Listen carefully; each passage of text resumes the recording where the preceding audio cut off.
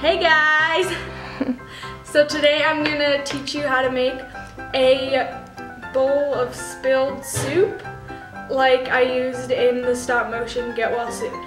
So the materials you need to make this are Mod Podge or um, white glue, food coloring, um, I'm using this alphabet pasta because it matches the soup that I'm replicating.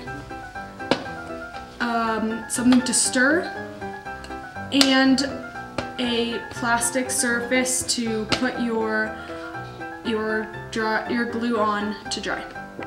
So first I'm going to start by opening my Mod Podge and pouring some onto my surface.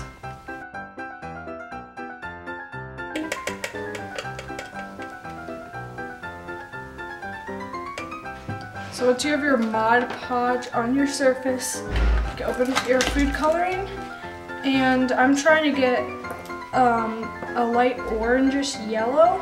So I'm gonna take some orange food coloring and some yellow, and I might add a little bit of red. But I just start with one or two drops.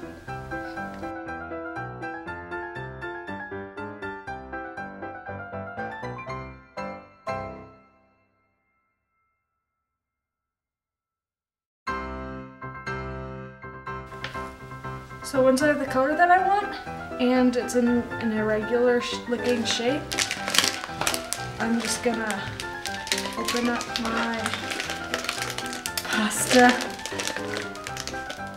and sprinkle some of the letters around. Um, don't push them in because then they'll get buried. Just set them on top.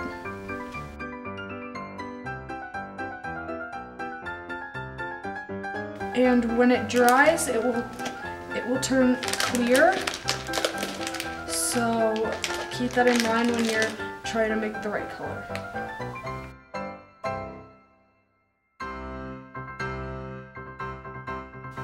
So once you've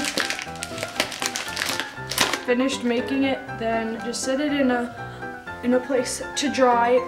Takes a few hours or you can just leave it overnight and just check on it once in a while to see if it's completely dry. Okay, so it's been a day and my glue is completely dry, so I could just take it and carefully peel it off because you don't want to tear it.